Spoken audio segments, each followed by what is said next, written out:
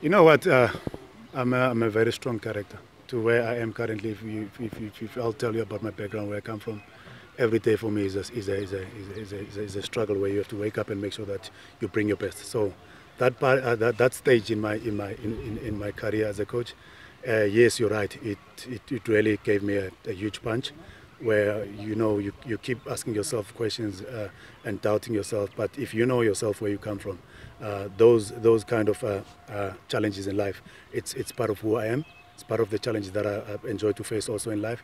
And once again, like I said to you, is uh, uh, you understand South Africa very well. There's a lot of challenges that we're facing in our country. So for me as a coach, I knew the day that I've signed to become a coach, I knew it's going to be part of the challenges that I'm going to be facing. There's going to be times where I have to go through potholes, I have to go through speed humps, but at the end of the day, I know my value, I know what I can do, I can know what I can contribute in the team, and I believe that I've got what it takes. I don't a doubt at all with that.